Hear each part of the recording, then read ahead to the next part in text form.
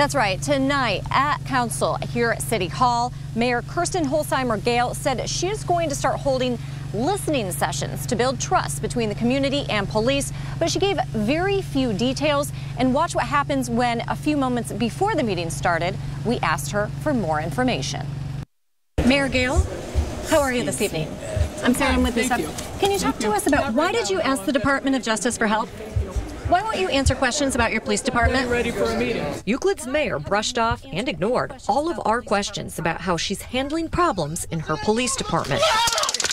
Our exclusive investigation found serious red flags. Just 20% of Euclid police officers are responsible for more than 80% of uses of force. Oh, wow. Officers like Michael Amiot. The mayor tried to fire him after this video of him beating a man went viral, but an arbitrator just gave him his job back.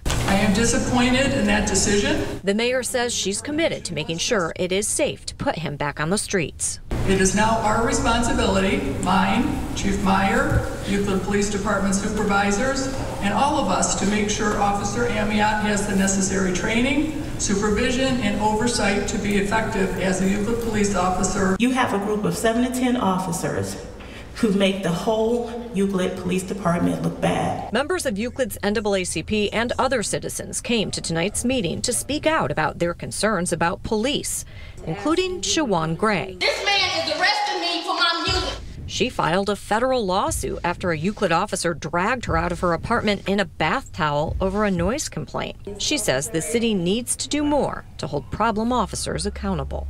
What are you doing as the mayor and as council? During the meeting, Mayor Gail also said she is working continuously to improve the police department.